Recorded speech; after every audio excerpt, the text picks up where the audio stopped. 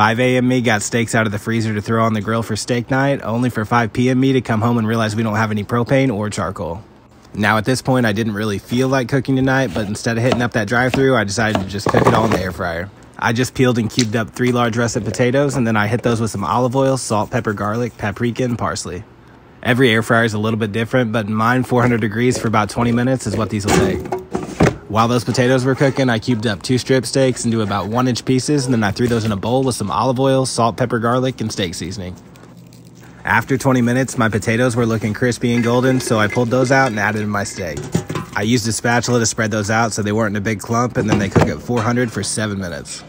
Just to be extra, I took a few tablespoons of melted butter and mixed in a teaspoon each of minced garlic and parsley for some garlic butter to pour over the top.